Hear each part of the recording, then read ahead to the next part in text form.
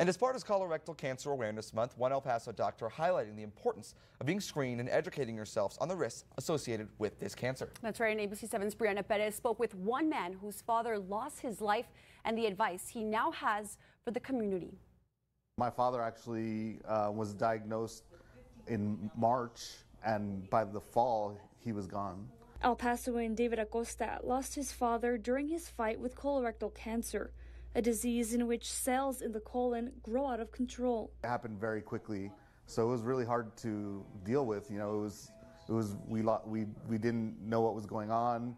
By the time that they caught the cancer, it had already metastasized and it soon spread to his liver. Acosta highlights the importance of getting screened. One of the frustrations of losing our father, you know, he, if he had gotten screened on a regular basis the way his doctor recommended, he might still be with us today.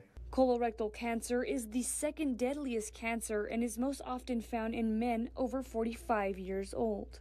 According to Jaime Gomez, colorectal surgeon at the Hospital of Providence, a low fiber and high fat diet or a diet high in processed meats can be a cause of colorectal cancer. He says catching the cancer at an early stage is key. To tell you the truth, the most common symptom is nothing.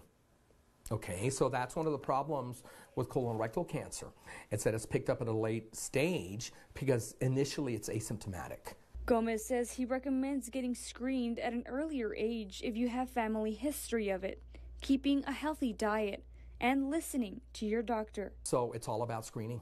Screening colonoscopies um, is how we prevent this illness. At the same time, we lost our father, but it was a good lesson for myself and my brother that we need to take care of our health we need to start watching what we eat. Uh, you know, we're not getting any younger.